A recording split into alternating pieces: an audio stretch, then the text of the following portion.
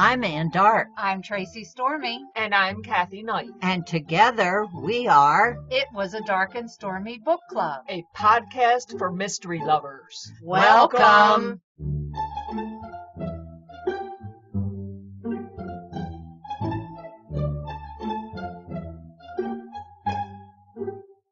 If you enjoy our show, please consider contributing to the Dark and Stormy Patreon. By becoming a patron, you will help us create better and quality content. There are also benefits to becoming a patron, such as exclusive content and Dark and Stormy merchandise. Become a supporter at patreon.com slash darkandstormybc. Check our website for the link. We appreciate any and all contributions. Thank you. Hello and welcome to episode 136 of Dark and Stormy Book Club. Today we have an interview with Michelle Cox. Michelle Cox is the author of the multiple award winning Henrietta and Inspector Howard series, as well as Novel Notes of Local Lore, a weekly blog dedicated to Chicago's forgotten residents. She suspects she may have once lived in the 1930s, and having yet to discover a handy time machine lying around, has resorted to writing about the era as a way of getting herself back there. Coincidentally, her books have been praised by Kirkus, Library Journal, Publishers Weekly, Booklist, and many others, so she might be onto something. Unbeknownst to most, Michelle hoards board games she doesn't have time to play, and is, not surprisingly, addicted to period dramas and big band music, and marmalade. A child lost, a spiritualist, an insane asylum, a lost little girl. When Clive, anxious to distract a depressed Henrietta, begs Sergeant Frank Davis for a case, he is assigned to investigating a seemingly boring affair.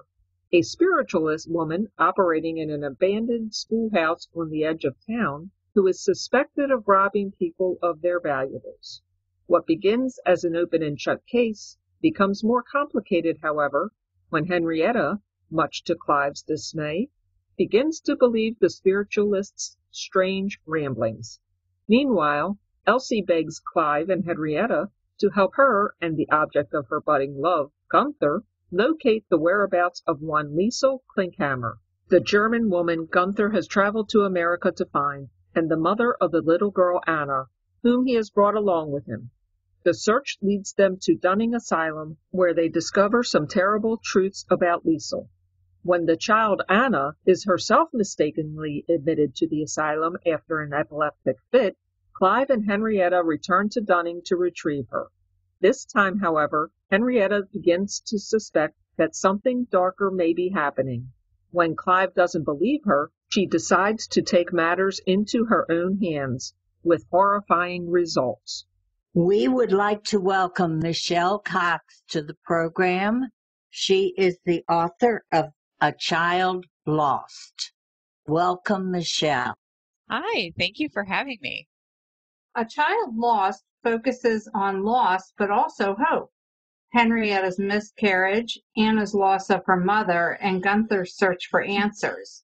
What gave you the idea to write this story? Well, that's a good question. You know, this series is a little bit different than your typical mystery series where you just have the same characters. They just solve a different crime every time. That's not really this series.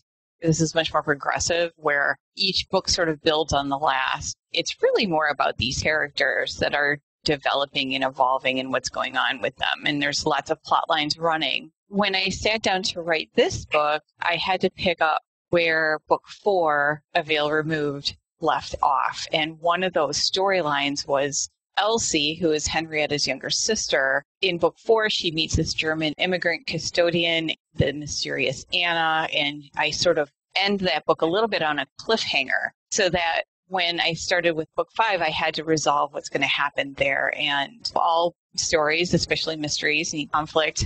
I decided that Anna would be this little child who is an epileptic. Gunther and Anna are lost in America looking for Anna's mother. Then I decided to take the Clive and Henrietta plotline and weave that with that story. Again, because this is not like your typical series, they're not really a detective couple. I mean, they are, but they don't really have a shop where people are coming in and ask them to solve their crimes the mystery or the crime sort of has to find them. And it's like the BBC or the PBS shows like Midsomer or any of those where it's sort of a joke that there's this small English hamlet and it has these, you know, hundreds of murders. It's kind of like that. Uh, how many times can Henrietta be in danger? How many times can somebody in their immediate circle get murdered? So it's a little bit tricky every time to come up with a mystery. So this time I decided to weave the two storylines together the Elsie storyline and the Clive and Henrietta, and they're on board now to try to help Elsie and Gunther find the mysterious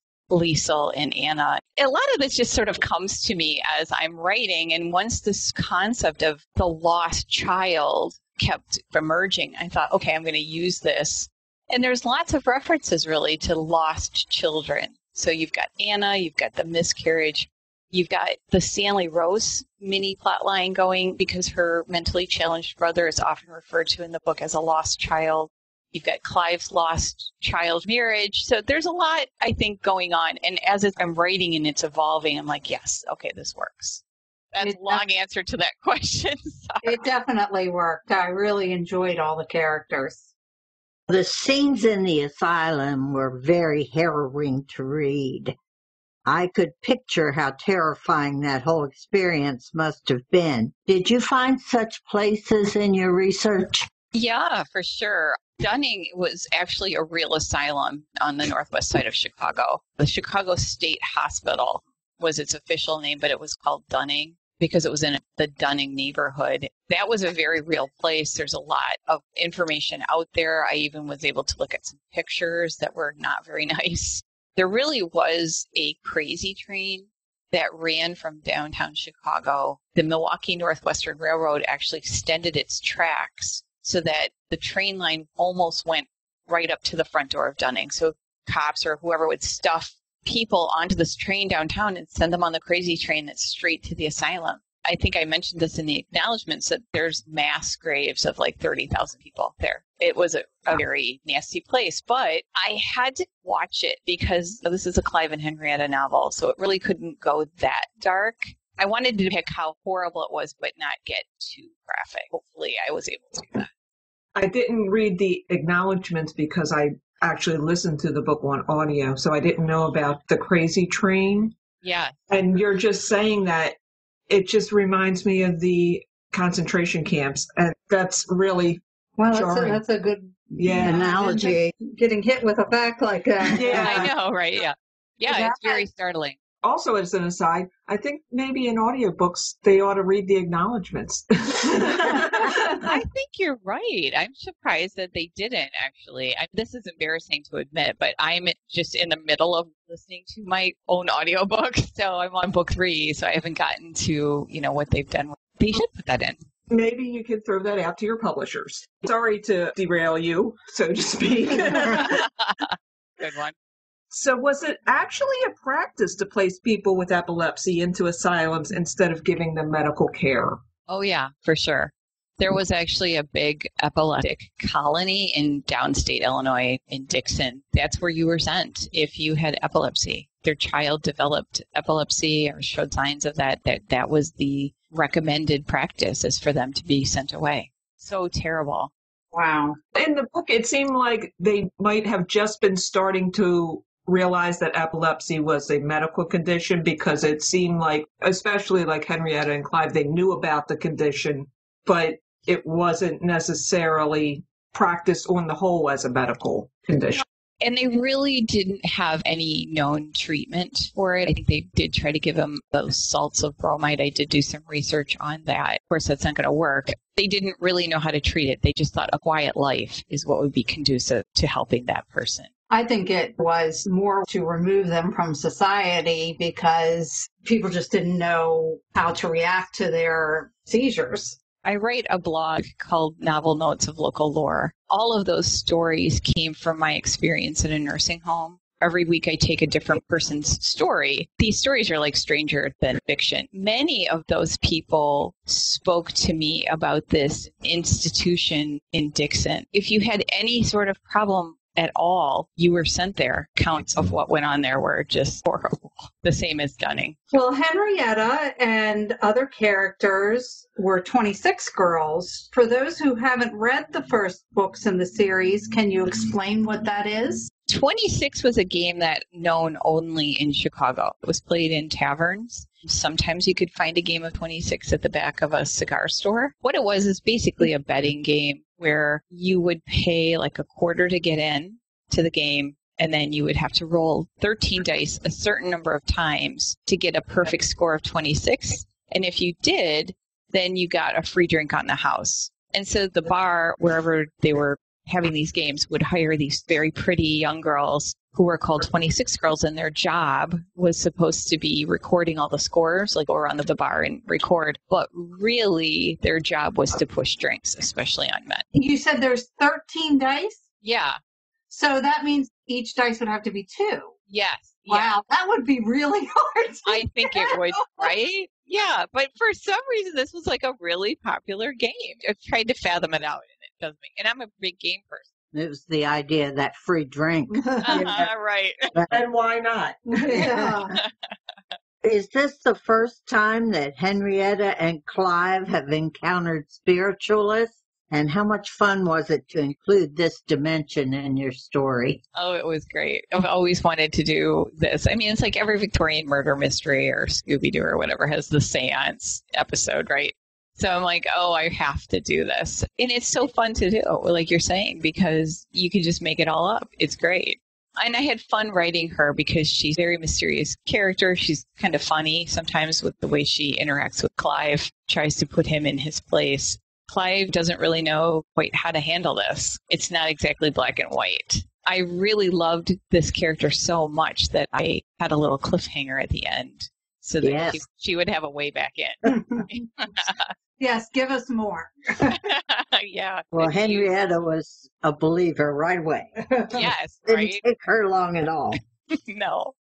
she told her what she wanted to hear. I thought it was such a nice touch that you included so many details about the historical facts in 1930 Chicago. Henrietta had experienced the two different worlds as we all have still today, the haves and the have nots.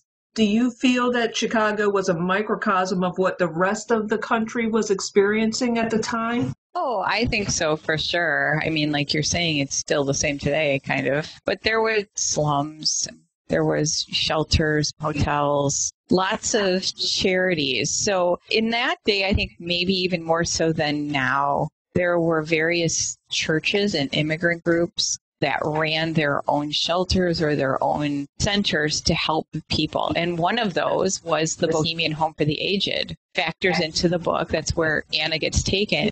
I actually worked there in the 90s. The official name of the place was the Bohemian Home for the Aged and Orphans. It was set up by the Czech people, Czech immigrants to help any Czech people who needed it and beyond. There was a lot of that going on. In the first book of the series, I mentioned that Henrietta has to go stand in line for free food at the armory in Chicago. Obviously, that type of thing was happening all around the country. And then you switch to the other end of the spectrum, which is the haves. Even during the Depression, there was still wealth on the north side, a little bit, some pockets on the south side as well. Yeah, I really do feel like it was a microcosm. I read somewhere that Clive and Henrietta are based on a real couple. How did you discover them and what made you decide to flesh them out? Okay. Well, actually, it's really only Henrietta that was a real person. Clive is completely invented. Henrietta is one of the women that I met in the nursing home, or the I changed her name, obviously. She shared her story with me. She was this amazing, very spunky woman. She used to follow me around and tell me her story. Like I said before, I mean, a lot of this is stranger than fiction. But she used to tell me that she was this bombshell working in the 30s and 40s in Chicago. She was very beautiful. She was very virtuous, but she was always working in these sleazy establishments in the 30s and 40s in Chicago. She used to tell me that she had a man stopping body and a personality to go with it. Um, Who says that? So funny. So all of the jobs that are listed in book one that Henrietta gets, like she's a Dutch girl at the World's Fair, she's a curler girl at Marshall Fields, she's a 26 girl, she's an usherette at a burlesque theater. those were all real jobs that this woman actually had. So I took all of those, put that in the book. I took her family